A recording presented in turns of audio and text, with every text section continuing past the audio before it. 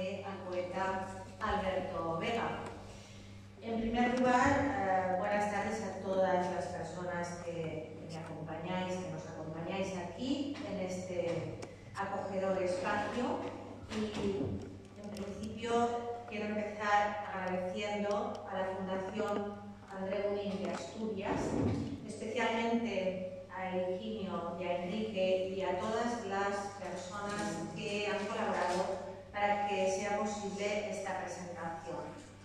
También debo agradecer a la editorial Laertes, en especial a Jacob Suárez y a Pepa Catalá, eh, que es la autora del diseño de esta portada, de la portada del libro y también de las ilustraciones que, eh, interiores que van precediendo a cada uno de los capítulos.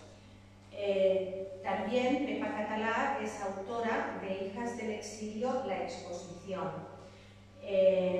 una muestra artística que ha acompañado la presentación de mi libro desde el primer momento que está bueno, pues unida eh, a, este texto. Hay un cordón umbilical eh, y que no ha podido venir aquí al Andreo presencialmente porque bueno, es difícil trasladar los lienzos, pero que intentamos después ver, podemos visionarla después en un pequeño vídeo, incluso pues traigo también un fragmento con una de las, la primera presentación que hicimos en Barcelona en el espacio Francesca Mesón, eh, donde Pepa eh, explicaba eh, cómo había trabajado ¿no? y qué es lo que había, le había motivado pues, a, a, preparar la exposición bueno, pues, a partir de, de, las charlas que tuvimos las dos. ¿no? Y Bien, eh, no sé si eso será posible, podemos ver los vídeos, pero no, sé si vamos a tener sonido suficiente, si no, bueno, pues en otra ocasión eh, será, ¿no? Eh, también, de manera muy especial, quiero manifestar mi gratitud a los Aprieto, que tengo aquí a mi lado, de la FAM de Asturias, a la alcaldesa Carmen Arresur, que no ha debido poder estar aquí acompañándonos, y a Esmeralda Palacio, de la Asociación eh, Fuerza de Mujer, no sé si lo digo bien, no solo por, vuestra presencia en este acto, sino por haber accedido a presentar, eh, bueno, acompañarme en esta presentación del libro. Eh, también quiero pues, hacer desde aquí un un agradecimiento a las hijas del exilio. Debo deciros que eh, estas diez mujeres eh, hubieran estado encantadas de acompañarnos en este acto, al que han sido obviamente invitadas y además recibirán la crónica del, acto, ¿eh? las imágenes, las fotografías y todo lo que haya sido eh, pues, la presentación de Hijas del Exilio en Asturias, tanto ayer como en Aviles como hoy aquí, en Landero. En la imagen eh, tenéis a María Amparo, que es la mayor de las hijas, que nació en el Prat de Llobregat, en Barcelona, en el año 1938. Es la única de las diez que nació aquí. El resto, las nueve restantes, nacieron todas en Francia y nos pudo acompañar en la primera presentación del libro que hicimos en Barcelona. En una de las presentaciones, bueno, en la presentación que hicimos en Granollers, eh, tuve pues también la agradable sorpresa de contar con la presencia de Jacqueline, que no se la ve muy bien ahí en la imagen, pero bueno, que estuvo acompañándome. Y finalmente, pues os voy a presentar a las ocho hijas restantes que estuvieron en junio conmigo en Perpiñán. Estuve acompañada con ellas. Eh, desde luego que, os repito, las diez hubieran estado encantadas de estar aquí, pero por motivos diversos no pueden desplazarse cada vez que hay una presentación de las, de las hijas. Eh, y sin más preámbulos, bueno, pues permitidme que, libro y que, mm, bueno, antes que nada, pues empiece eh, con una eh, contextualización para ir bueno, pues acompañando el contenido de la exposición. Voy a hacer una breve contextualización de una serie de hechos que bien seguro todos vosotros conocéis. Bueno, como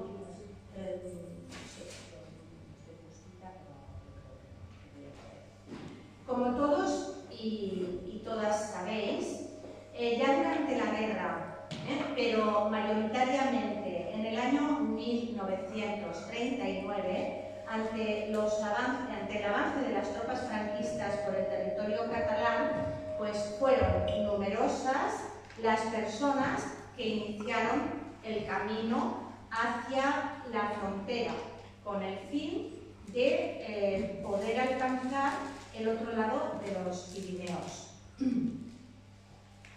Debo recordar, eh, porque pocas veces se recuerda, eh, que a lo largo mm, del camino de la retirada y entre las 464.000 personas que como mínimo cruzaron la frontera entre los meses de enero y febrero de 1939, la frontera francesa, se hallaban numerosas mujeres que iban acompañadas y sería bastante más preciso decir que tenían a su cargo ancianos, las personas mayores más vulnerables y eh, los niños y las niñas, porque de hecho ya se habían hecho cargo de todos ellos al haber tenido que ir al frente, o al haber ido al frente, todos sus compañeros, sus maridos, etc. Bien, mujeres que, bueno, se tuvieron que plantear el camino, iniciar el camino hacia el exilio y en muchos momentos ese planteamiento lo hicieron en una, digamos, mm, profunda y absoluta soledad. Eh, supongo que no debió ser fácil, porque eh, tenían que dejarlo todo atrás, tenían que marchar de su lugar de residencia y además una decisión que tomaron en, soledad porque eh, sus compañeros o estaban en el frente o a lo mejor habían ya muerto, en fin, dejando toda su vida, tuvieron que tomar esa decisión. Además de afrontar los miedos ¿eh? que aquella decisión entrañaba, eh, de empezar a caminar día y noche, sin tregua, soportando, porque recordemos que era enero-febrero, soportando pues bajas temperaturas, el cansancio físico, caminar ¿eh? sin, cesar, tanto de día como de noche, desprendiéndose de todos los, de los pocos enseres que llevaban encima, porque claro, no, no podían ¿eh? ni soportar el peso y además era, ya llegó un momento en que era pues, absurdo, ¿no? Eh, llevar consigo pues, utensilios, etc. Pues además de mm, caminar por unos caminos que estaban abarrotados de personas heridas, incluso de personas eh, que habían fallecido, hileras de seres humanos extenuados, enfermos, heridos. Además de todo eso, tuvieron que sufrir el asedio, un asedio absolutamente encarnizado de los bombardeos, de los eh, fascistas, eh, claro, que con sus ataques pues les iban persiguiendo a lo largo de todo el recorrido hacia la frontera. Eh, en el libro, bueno, es evidente que los ataques iban sembrando un reguero de muertos y en el libro encontraréis eh, testimonios de, las mujeres que recuerdan cómo sus abuelos o cómo sus padres, sus madres, pues vivieron ese camino el camino de la retirada y mm, me decían eh, cómo esa situación les dejó traumatizados para, para toda su vida. ¿no? Por ejemplo, Dolores explicaba que su madre cada vez que oía un avión, eh, bueno, le decía eh, que se acordaba, ¿eh? decía catalán al refugi, era la frase que le venía a la mente, ¿no? Porque estaban en, en Barcelona, decía catalán al refugi, y mi madre se ponía absolutamente nerviosa y no podía soportar, nunca pudo soportar eh, pues oír el paso de un, de un, avión a lo largo de, de toda su vida.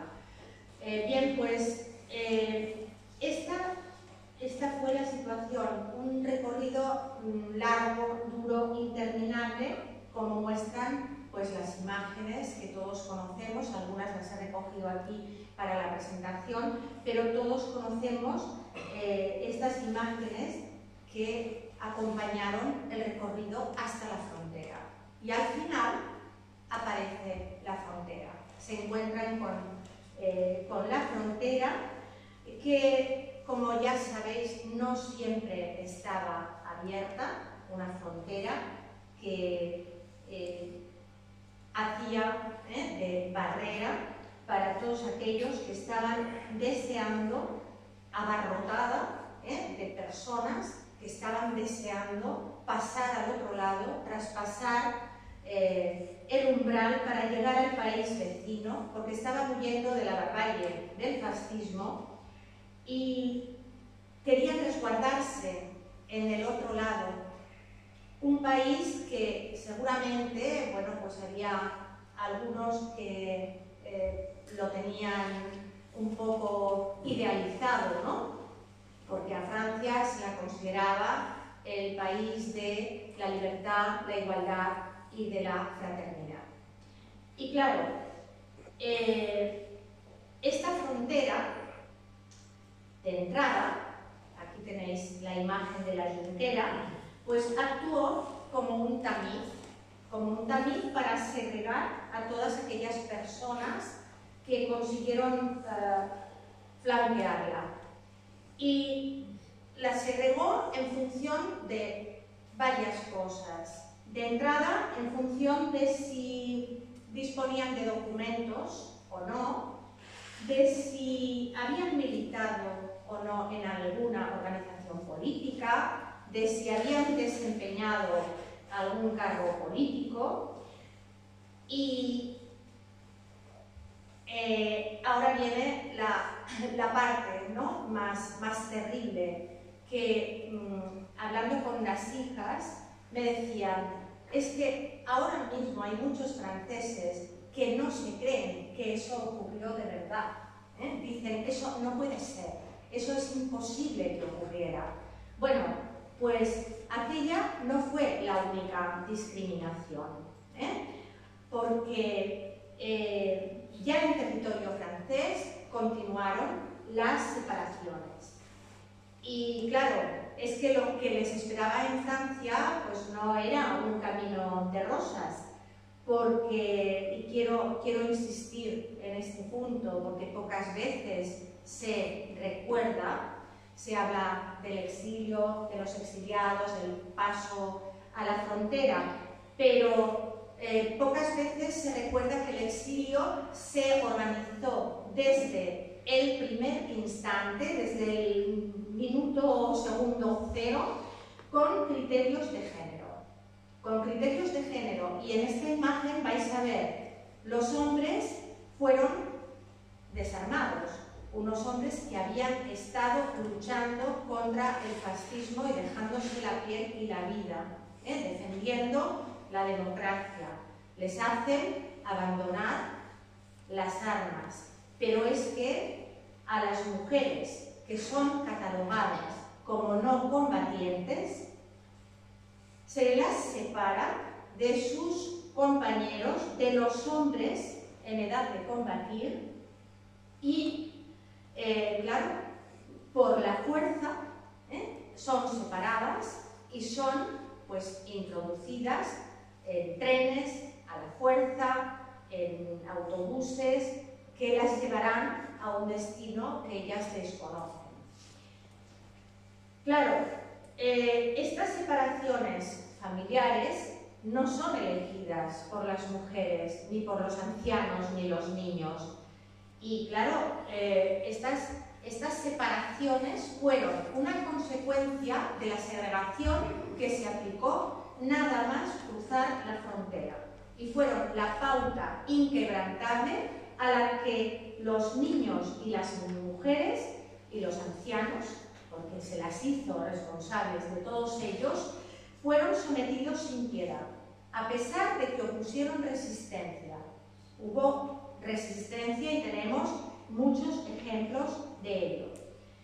Bien, aunque algunas mujeres, fijaos aquí, eh, vemos los trenes, y eh, bueno, y, además hay eh, episodios, por ejemplo, me estoy, estoy recordando ahora la familia de Monique, la madre estaba la abuela estaba enferma y entonces eh, su abuelo eh, quiso entrar en el tren que no le dejaban y consiguió finalmente entrar y las mujeres, tejiendo una red de solidaridad, le dieron protección y lo escondieron.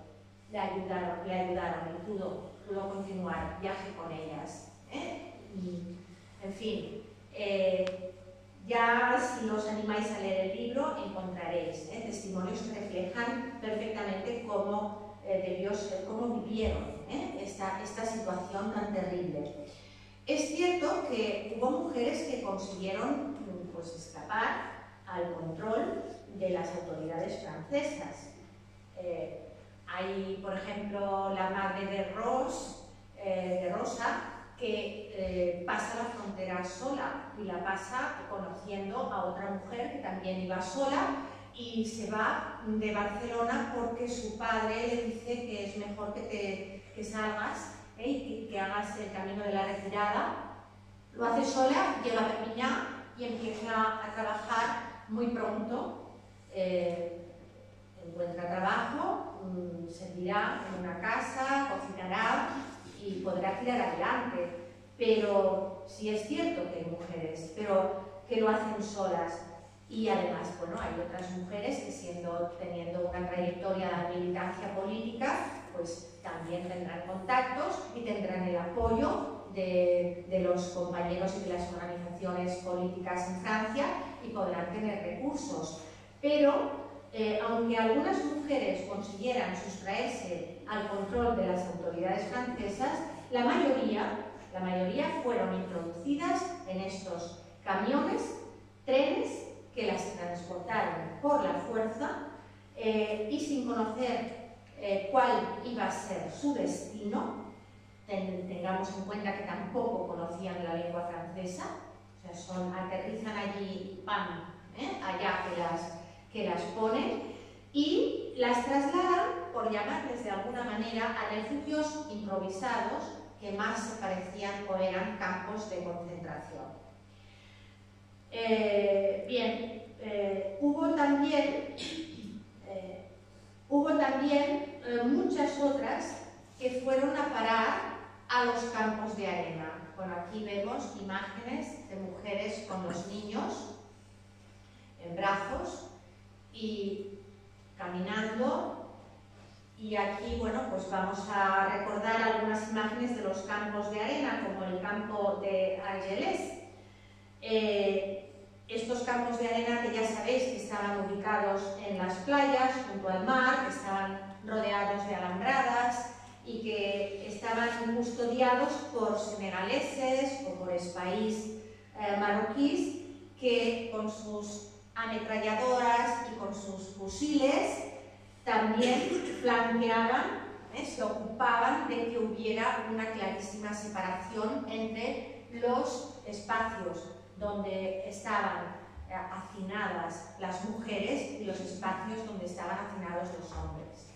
María Amparo cuenta ¿eh? que pasó la frontera en brazos de su madre porque había nacido en el 38 la pasa en el 39, eh, cuenta su experiencia en el campo y cómo de repente un día pues desaparece porque se llevan por la fuerza a su madre, a su abuela y a ella y, bueno, el marido desesperado, esto sin aviso, sin ningún tipo de nada, de repente, ¿no? Te, te desgaja, aunque no estaba eh, exactamente conviviendo con el padre, porque existía esta separación, pero bueno, eh, ya deja de estar en el campo, ¿no? Por lo menos si sabes que tienes a alguien a distancia, tienes a tu compañero, aunque sea en el mismo lugar, sabes que está vivo, eh, pues es un poco más, más te, produce más consuelo, ¿no?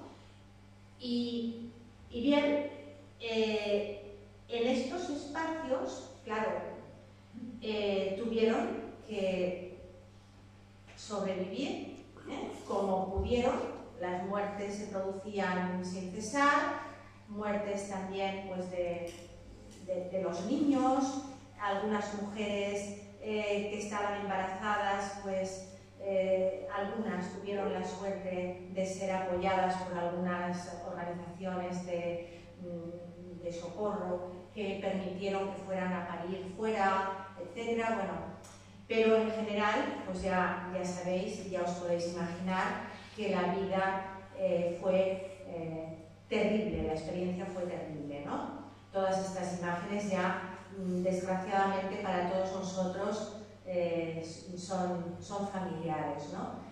Y bueno, supongo que también nos recuerdan algunos episodios que estamos, que estamos viviendo ¿eh? desgraciadamente. Bien, eh, la actitud, o sea, mm, ahora me gustaría también comentar que estas mujeres y estos hombres exiliados y exiliadas republicanos eh, españoles conocieron las, las, dos caras de la moneda, ¿no? en el país que fue Francia, el país de lugar de acogida. Eh, las dos caras de la moneda porque la actitud terrible de los gendarmes y de las, y de las, eh, las autoridades que representaban al gobierno que, que, les recibió, pues les, les, hizo sentir en su, propia, en su propia piel, en su propia carne, cómo se les negaba el trato que merece recibir cualquier persona humana, cualquier ser humano. Eh, pero por otro lado, afortunadamente, eh, fueron numerosas las muestras de apoyo y de solidaridad que recibieron, pues, a ver, desde ayuntamientos, comités de ayuda, instituciones de ayuda humanitaria, el Socorro Rojo, organizaciones eh, políticas, sindicatos, Ayer yo recordaba, ¿no? por ejemplo, los maestros fueron muy solidarios, los ferroviarios también fueron muy solidarios eh, con, con, todos ellos.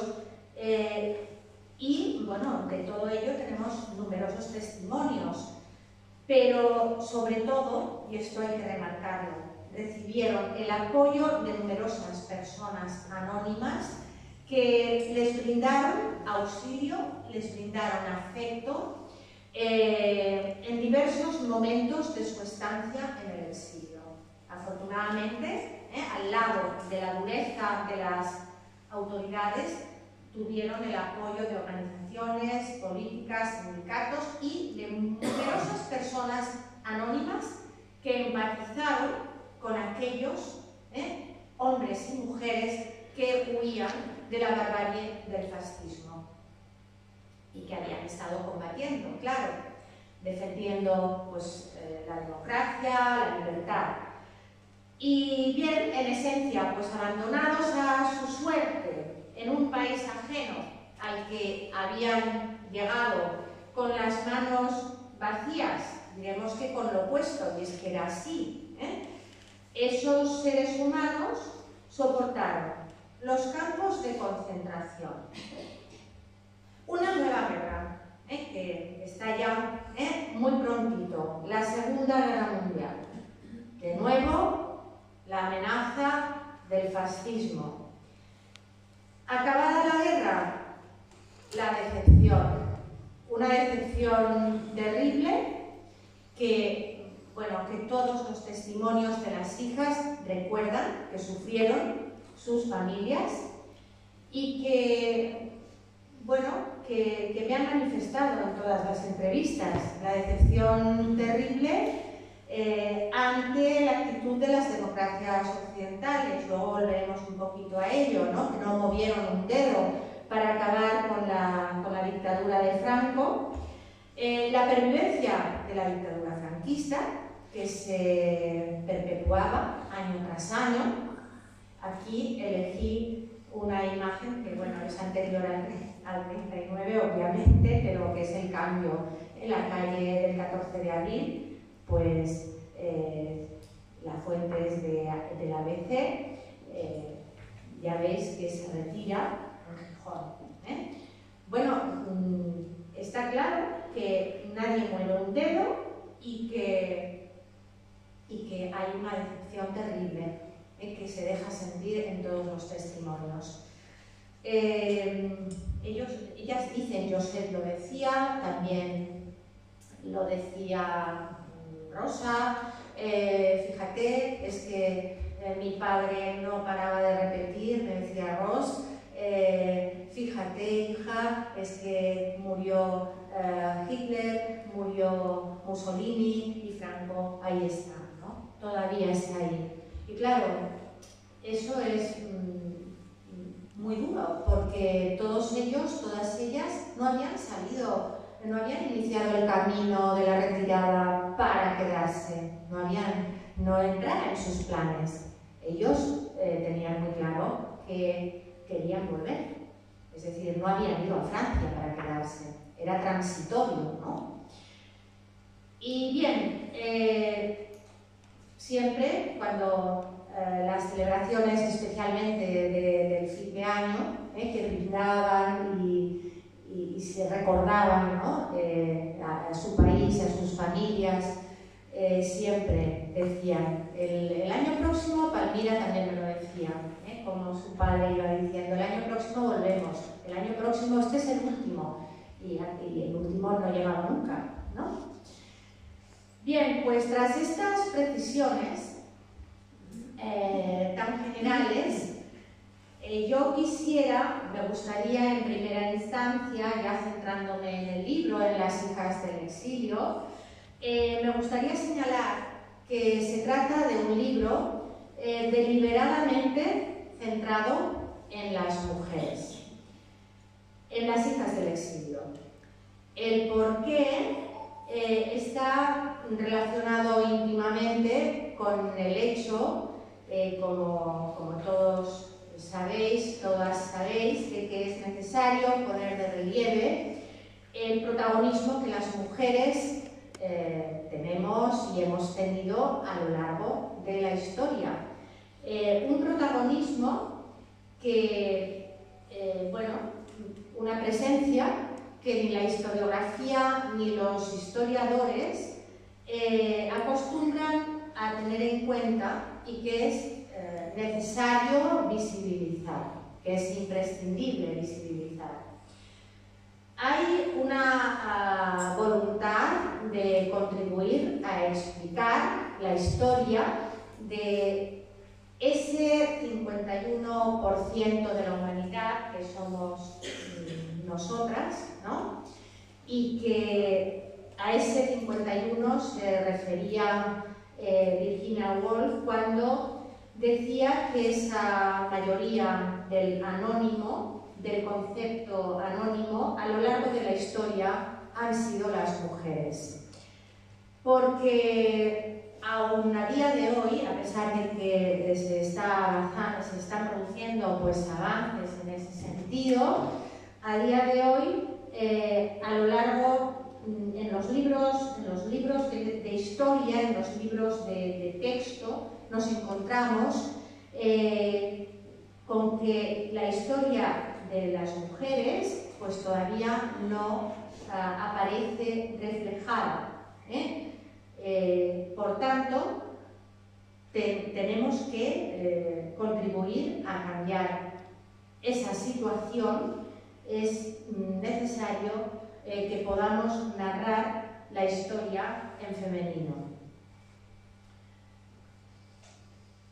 Probablemente, claro, lo ha comentado un poco Rosa anteriormente, pero voy a, voy a precisar un poco este, en este punto y de paso pues os muestro algunas imágenes. Eh, claro, os preguntaréis eh, qué es lo que me llevó a,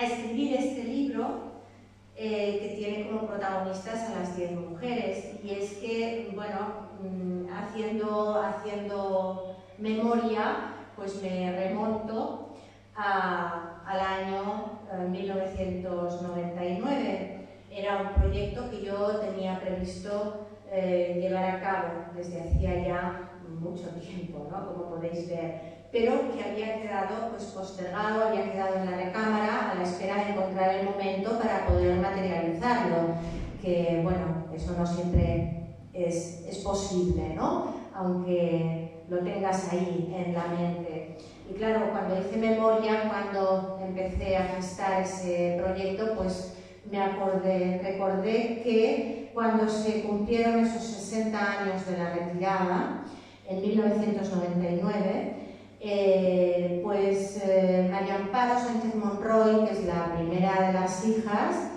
eh, fundó la asociación Free, que le puso ese nombre pues también de manera deliberada, ¿no? Free, libre, ¿no? Y quería pues que fuera una asociación libre.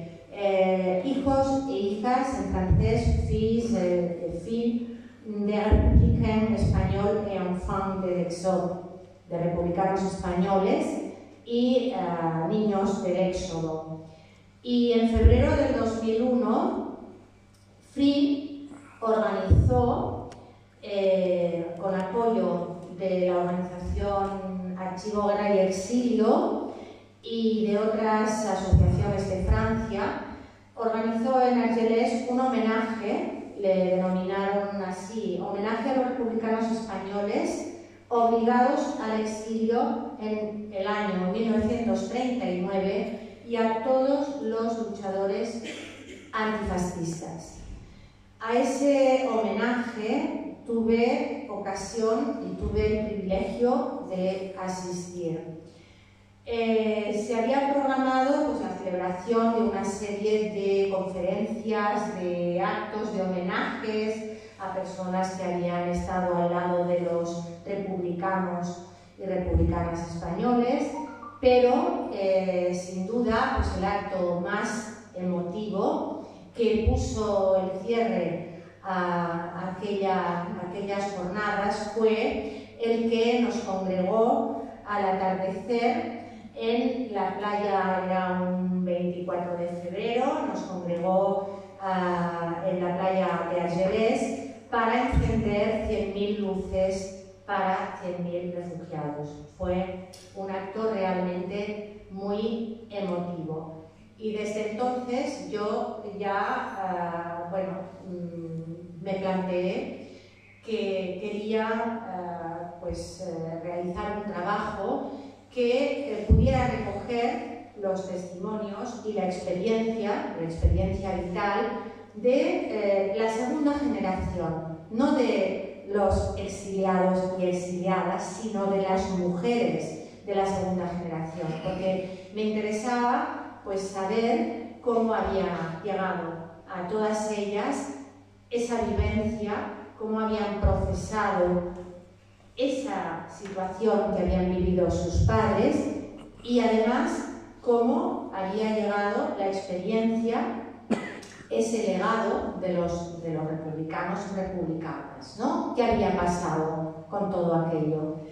Y bueno, eh, como, como ya, ya sabéis y lo habéis calculado, pues tardé bastantes años en poder eh, pues poner, poner en marcha el proyecto, pero bueno, finalmente pues la casualidad eh, me llevó a entablar eh, conversación con Ross, eh, que, a quien conocí en Perpiñá gracias a la Fundación Andreurín, que organizó los actos de retirada. Antes habéis hablado de la presentación del libro de la retirada.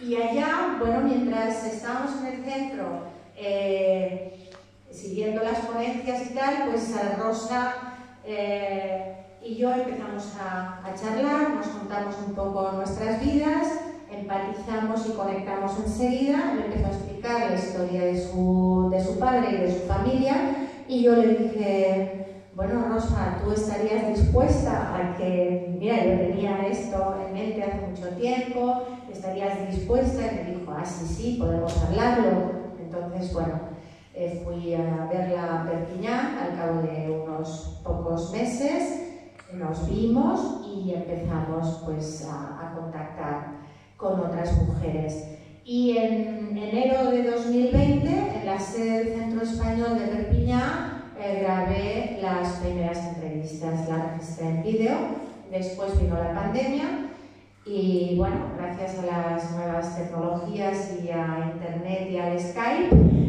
pues eh, no se detuvo el trabajo y pude seguir entrevistando al resto de las mujeres. O sea que esa es la historia ¿eh? de ese proyecto que finalmente pues, pude ejecutar y que se ha materializado en el libro que presentamos hoy. Eh, porque, bueno, os quiero contar un poco, bueno, esta es una imagen de Argelés, de la playa de Argelés, que me cedió María Amparo, del momento en que nos reunimos allí en la, en la arena. Y os decía que os quiero comentar os quiero contar bueno, pues cómo, cómo, ha sido la elaboración de las hijas del exilio. Eh, y a partir de ahora pues, voy a proyectar imágenes que eh, las 10 mujeres, eh, bueno, en realidad mm, serán 9 mujeres, lo comento ya ahora, pusieron a mi disposición para poder organizar eh, la, presentación ¿eh? del libro y además para que pudieran ser utilizadas en la exposición que, que, ha acompañado eh, estas presentaciones. Entonces fueron documentos o materiales, no están aquí todos, que pusieron a disposición con mucho cariño y con, con el esfuerzo ¿no? de lo que supone empezar a buscar eh, y a bucear entre tus recuerdos. Y hubo una de las mujeres, Linda, que me, comentó que lo sentía muchísimo, pero que no, se, no tenía la fortaleza de que le removía tanto afectivamente eh, el, recordar que no tenía la fortaleza necesaria para, para buscar mm, fotos y, y enviármelas evidentemente eh, perfectamente comprensible. ¿eh? Por eso veréis que de Linda solo tengo una foto y que en la exposición, si lo podemos ver luego, pues no aparece un lienzo dedicado a ella, a pesar de que en los agradecimientos sí que está ella citada. Bien, entonces, bueno, como os decía, las entrevistas que realicé a las 10 mujeres que son María Amparo, Jacqueline, Linda, eh, Mariange, eh, José, Palmira, Rosa, Dolores, Monique y María. Las he citado de mayor a menor en edad. Fueron eh, las que han servido de base y el punto de partida para la elaboración del texto y han sido sus testimonios y el contenido de las conversaciones que hemos tenido, que, bueno, debo deciros que eh, yo al principio, eh, en las primeras sobre todo, tenía un pequeño guion, ¿no? Y, después eh, ya eh, empezábamos a hablar y realmente pues no hacía falta, porque aquello fluía, ¿no? Y fluía y fluía y una vez eh, se pierde el respeto a tener una cámara delante y a desnudarte y hablar pues, de esos temas tan dolorosos, pues ya iba siendo bastante, bastante más fácil, ¿no? Esos testimonios sido, las conversaciones que hemos mantenido, han sido los cimientos que me han permitido eh, ir construyendo y explicando la historia. Obviamente, eh, el proceso eh, de investigación para la elaboración del texto ha contado también pues con el manejo de fuentes y de bibliografía que encontraréis referenciada en el, en el libro convenientemente, pero han sido sus recuerdos personales eh, los recuerdos que ellas han ido narrando, los que ellas han querido explicar y los que ellas han autorizado ¿eh? a que se, se, publiquen, porque ahí debo decir que yo he sido muy respetuosa. Eh, ha habido pues, en algunas ocasiones algunas, algunos aspectos que me han dicho esto. Esto te lo cuento, pero esto off the record, ¿no? Esto es solo eh, para ti. Esto no lo suscribo fuera. Y bueno, eh, en base al respeto mm, no hemos tenido ningún conflicto, ¿no? nos hemos entendido muy bien. Entonces han sido sus recuerdos personales, eh, los recuerdos que todas ellas han narrado, los que he manejado para ir contando y para ir tejiendo la historia. Así pues, a partir de, los testimonios de, las entrevistas y de, la transcripción de las entrevistas realizadas, organicé el contenido de las mismas en diversos apartados cronológicos. En primera instancia, las hijas han compartido conmigo toda su trayectoria familiar. Nos hemos remontado eh, hasta sus abuelos paternos y maternos. Y desde ellos hemos llegado a sus padres y a sus madres. Y esa transmisión ha sido la base para configurar eh, los cuatro eh, bloques iniciales del libro, que están dedicados a tratar un apartado que he denominado los antecedentes de la República, y eh, el resto de los apartados que han sido la República, la República en guerra, la retirada y la resistencia contra el fascismo. Eh, estos apartados los he contextualizado eh, pues, cronológicamente, históricamente, pues, para que fueran mucho más inteligibles, ¿no? para su mayor comprensión. Y esos cuatro apartados eh, corresponderían al pasado, al pasado de las hijas, a los antecedentes de las diez mujeres. La transmisión de eh, sus propias vivencias, cuando ellas ya toman la palabra, ya hablan de sí mismas, ¿no? Eh, y son protagonistas, de lo que están eh, narrando ha sido la base para la confección de los dos últimos apartados del libro. En ellas, eh, en, esos dos últimos apartados, son ellas eh, las que toman la palabra y son ellas las que toman conciencia de cuál es su realidad. Y además, es allí, en ese apartado, cuando realizan la aceptación de la herencia, eh, que además manifiestan que quieren preservar, la quieren mantener. Una herencia que reconocen como propia y que les ha permitido atesorar unos valores que sin ninguna duda las diez mujeres eh, reconocen que tienen sus raíces en aquellos valores que les transmitieron eh, los hombres y las mujeres de la primera generación de republicanos y republicanas en el exilio.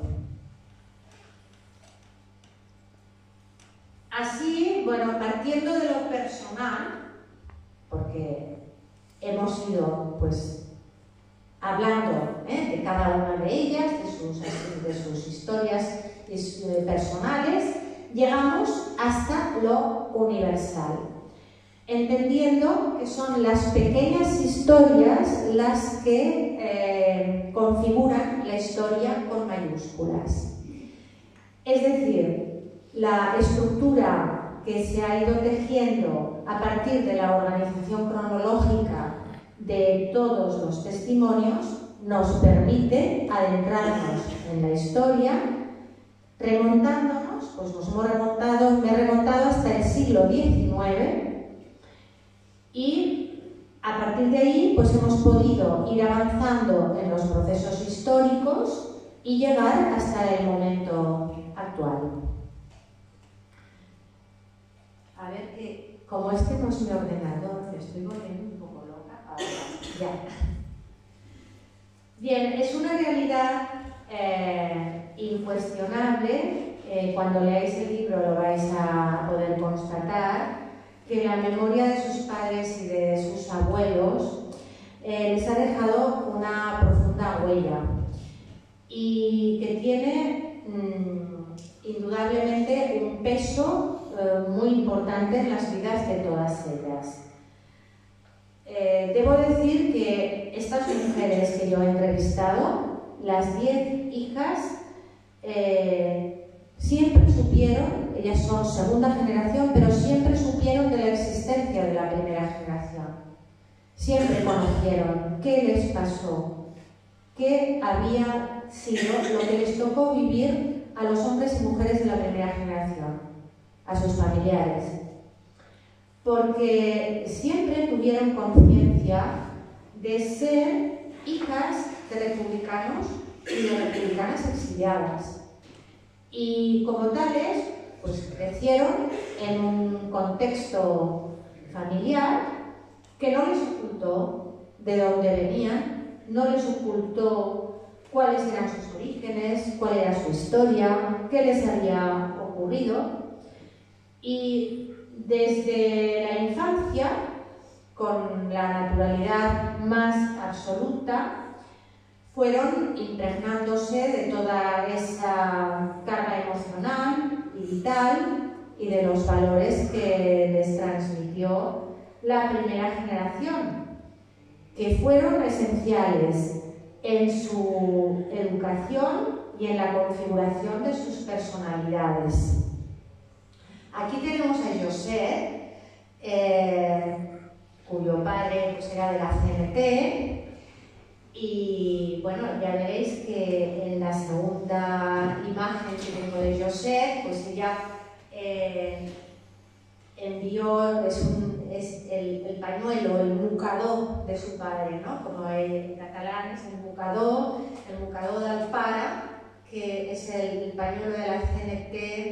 Eh, Fai, Aite, y que ella conserva con un cariño exquisito y que me lo fotografió 20 veces hasta que salió perfecto y entero para que lo pudiera, lo pudiera mostrar aquí, ¿no? Lo pudiera mostrar y lo pudiéramos tener para, para la exposición como material o el carnet.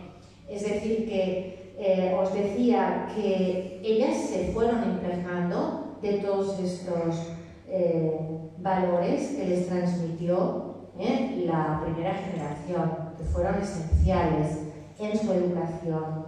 ¿eh? Y eh, hablando de la configuración de sus personalidades, hemos de tener en cuenta que aunque estas diez mujeres tienen unas historias de vida pues, diferentes, son pequeñas, ¿no? cada una tiene sus vivencias, en cuanto a sus orígenes, a sus padres y madres, eh, o abuelos y abuelas. Bueno, mm, si os fijáis en el libro se recogen todas estas experiencias, pero encontraréis, hallaréis una constante común a todas ellas, que es la referencia que constantemente hace a la importancia de, la, ah, de los valores que recibieron de sus que no fueron otros que valores entroncados con la importancia de la educación, con el acceso y el amor, el amor por la cultura, eh, por el arte, por el conocimiento. Todo eso se lo transmitieron y bueno, eh, esta era una vía, una manera clarísima para el camino, para educar en la libertad. Aquí tenemos a Palmira. Palmira eh, tiene una experiencia muy dura que no voy a desvelar, no os voy a hacer spoiler, todas tienen ¿eh? algún punto.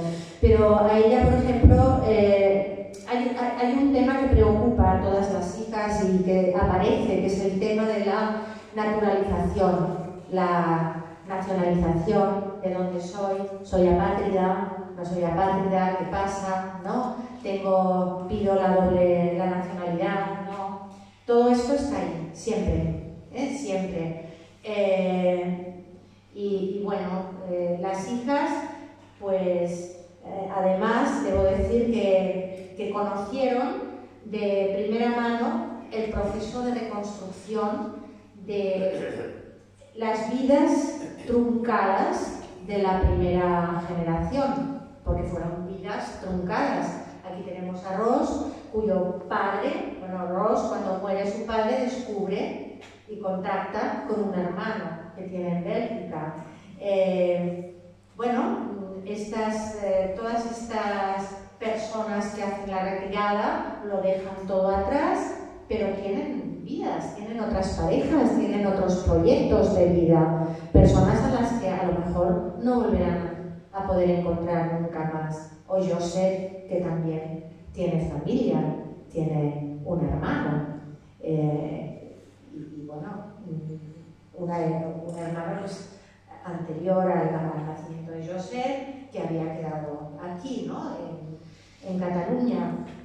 Es decir, que ellas conocen ¿eh? lo que ha supuesto tenerse que reconstruir y eh, fueron plenamente conscientes de que esa generación, la primera, eh, lo había perdido todo, todo. ¿eh? Ross, que la tenemos en la imagen, me decía, mi madre siempre decía, ¿te das cuenta, Rose? Nosotros lo perdimos todo, tuvimos que empezar de cero. Su padre era un joyero, Luego trabajó, pudo trabajar de joyero allí en Perpiñán, en el barrio donde vivían los españoles, en el barrio de San que hoy está destrozado. Ha sido una pena que no lo hayan convertido en, bueno, no hayan respetado el patrimonio, porque era el lugar de los españoles. Hoy está abandonado, destrozado, es la zona donde están los gitanos y donde nadie, no porque sean gitanos, sino porque hay un deterioro y un abandono terrible y, nadie quiere entrar, de tal manera que en la casa donde los padres de, de vivían, eh, tuvo que dejarla y cederla al ayuntamiento porque, bueno, se la habían, era pequeñita, era, eh, estuvimos con ella, nos mostró el barrio, la casa, etcétera, la perdió, la tuvo que dar al ayuntamiento porque su madre ya no podía vivir los últimos años de vida allí debido al deterioro, la suciedad, la inseguridad.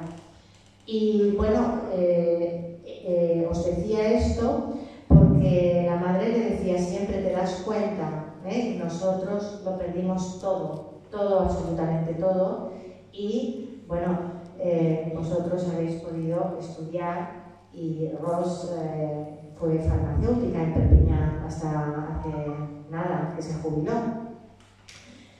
Entonces os decía eh, que, bueno, que eh, eran conscientes de que la primera generación lo perdió todo y que se tenía, de que se tenía que reconstruir tras haberlo dejado todo atrás, incluso como os decía antes, otras vidas ¿no? que habían iniciado.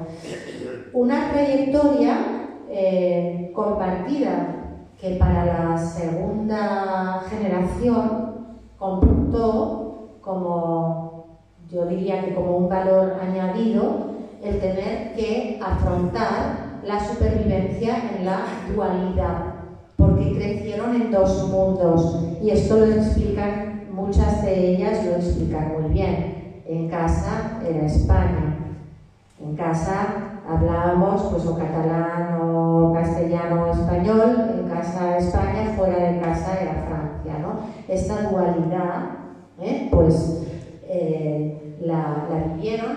ellas, bueno, creo que eh, la consideran pues un, al margen de los conflictos que les pudiera crear, como un valor añadido, ¿no?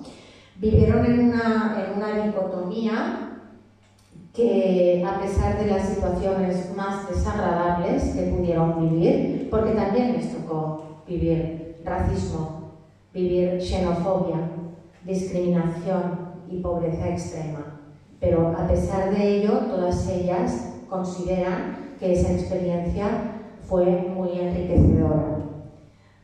Hablando de Ross, eh, la pobreza extrema, ella lo explica, eh, que lo que sentía cuando era niña y cuando iba a la escuela, ella sí que se daba cuenta de que era pobre, de que en su casa había pobreza y de que era diferente a las demás compañeras de clase. Pero, por ejemplo, María Amparo comenta que, bueno, que sufrió mm, más de una vez racismo, ¿no? El racismo de, de niña, cuando su madre la envía a comprar con la cantidad de racionamiento y una mujer la increpa y le dice que, que bueno, que, que, aquí no tienes que estar, español de merde, ¿no? española de mierda, que esto se lo han oído muchas, pero después María Amparo también tiene una experiencia, se casa con un francés de, de, de, buena, de casa bien, ¿no? que dice ella, y resulta que el padre era ah, pues absolutamente ¿eh? Mm, patriarca y, y, controlador y racista y entonces no le eh, hay una, una, comida, lo explica, no, no, la, no, le permite sentarse a comer a la mesa con el jefe de, bueno, pues con el cura cuando va, y, y ella pone la mesa y se pone un cubierto para él y le planta cara, ¿no? Es decir, que incluso de mayores han tenido que saber enfrentarse porque se han tenido que oír pues que, bueno, que eran españoles, ¿no? Cosa que les, que les duele, ¿no? Que se lo recriminen incluso ahora. María también me comentaba que había vivido algún episodio mm, recientemente de que la hubieran dicho español de merda, ¿no? Bueno, estas situaciones ¿eh? que les, tocaron, les tocó vivir. Pero ahora um, nos, nos, adentraremos en, en, un tema brevemente ya os he comentado un poco antes al hacer la, contextualización. Eh, los protagonistas del éxodo, los hombres y, y las mujeres eh, republicanos que habían luchado contra el fascismo eh, en España, y que continuaron el combate en Francia en la resistencia, tanto los hombres como las mujeres, pensaban que acabada la Segunda Guerra Mundial, eh, los aliados les ayudarían a acabar con, con, la dictadura de Franco. De hecho, allí estaban esperanzados, ¿no? Eh, pero cuando constataron que ni Europa ni Francia eh, moverían un dedo para ayudarles a derrocar a Franco, pues sufrieron una decepción inmensa. Eh, esto también aparece ¿eh? en muchos testimonios. La decepción, cómo se sienten mm, absolutamente abandonados. Recordemos que al final de la Segunda Guerra Mundial, ya lo sabéis todos y todas, eh, los aliados eh, volvieron a traicionar eh, de una forma despiadada por segunda vez, les volvieron a traicionar. Ya lo habían hecho cuando se inhibieron ante la impunidad del golpe de Estado fascista en julio de 1936, creando el Comité de No Intervención, que toleró que, bueno, que las potencias fascistas pues, apoyasen a Franco al mismo tiempo que impedía pues, que el gobierno legítimo republicano consiguiera armas y, y, petróleo.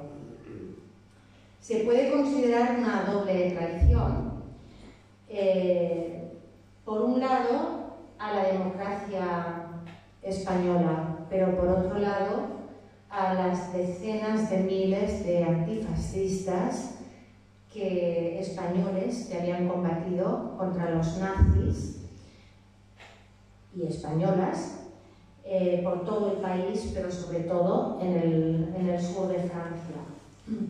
Y que se encontraron con que su lucha y su esfuerzo pues solo había servido para que Franco eh, afianzase la dictadura y permaneciese pues en el poder. Y bueno, ya sabemos todos que hasta el 75 eh, pervivió y que acabó sus días en el lecho. Es decir, que mm, creo que el tremendo dolor, el tremendo dolor eh, y la terrible decepción que sufrieron sus padres y sus madres, como os decía, me lo han referido todas, todas las hijas en las entrevistas. Pero os comento esto porque a pesar de ello, a pesar de esta terrible decepción y de todas las penurias que habían, que habían pasado, fueron capaces de transmitir a la segunda generación el agradecimiento a un país que eh, era el país de acogida, Francia, que les acogió y que además, y lo dicen y lo narran con, orgullo y con, aunque tuvieran sus más y sus menos, ¿eh? pero les acogió y les permitió gozar de una educación en la escuela eh, pública, laica y gratuita que les eh, otorgó instrumentos para poder formarse y para poder desempeñar eh, pues, estudios y tener una profesión. Entonces, este agradecimiento es eh, constante porque además eh, esta educación les permitió conseguir la integración plena en el que había sido el país de acogida para la primera generación. Esa también es una eh, constante ¿eh? que hallaréis en el libro, el agradecimiento al país de acogida. Así, eh, bueno, las hijas, ya voy terminando, son personalidades muy singulares y cada una a su manera y en su estilo pues ha ido siguiendo una trayectoria muy particular. Pero debo decir que bueno, todas ellas han realizado estudios, han desempeñado profesiones diversas, eh, han trabajado en la administración, ah, o bien pues eh, algunas tienen estudios de derecho. Eh, Rosa, os he comentado antes que era farmacéutica.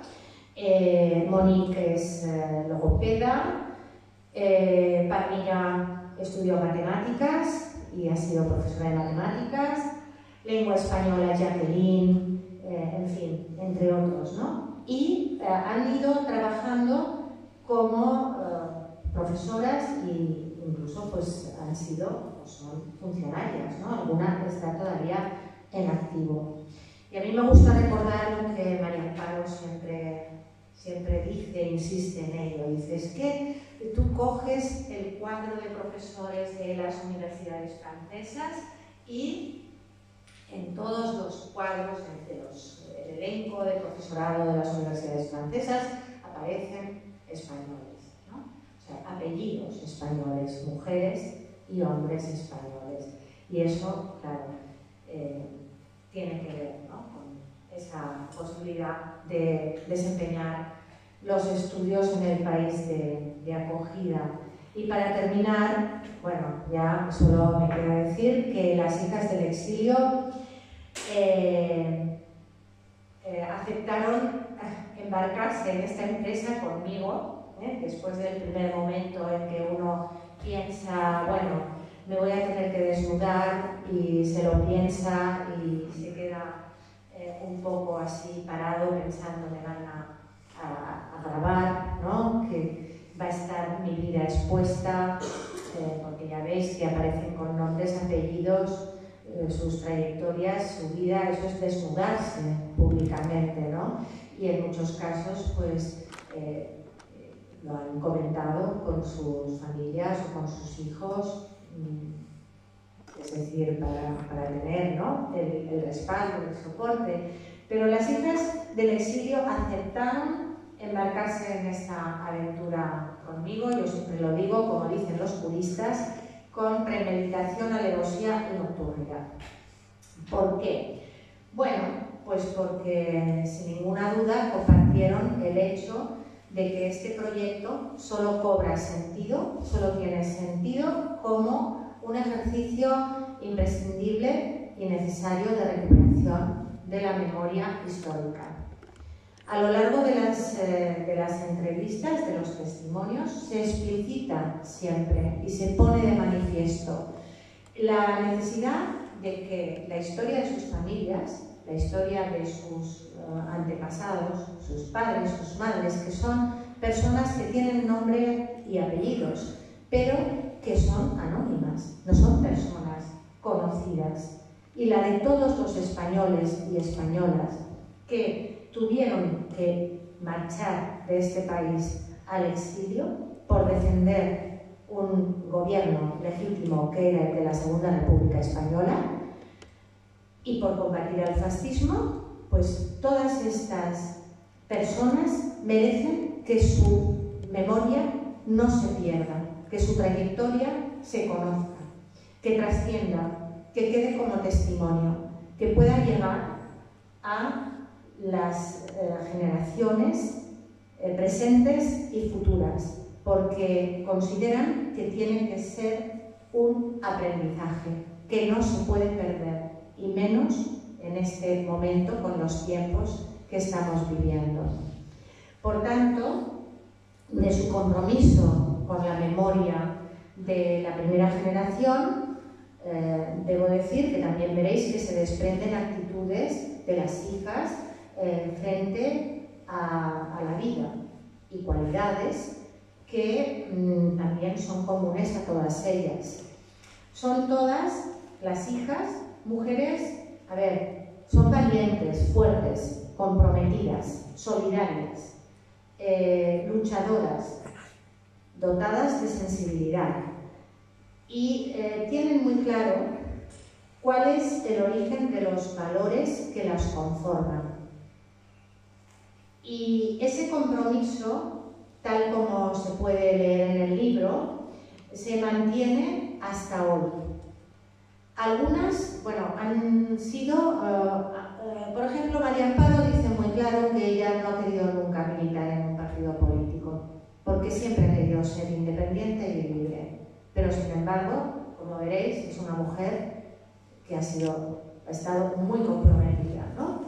Hay otras que han estado pues, eh, militando en el Partido Comunista o han sido socialistas o anarquistas, han tenido vinculaciones, hay un espectro súper amplio, pero todas hoy tienen un compromiso y eh, queda muy claro que mm, el origen de los valores que, que las conforman tiene las raíces en el que les transmitieron los eh, hombres y mujeres de la primera generación, en esa educación eh, que recibieron de ellos.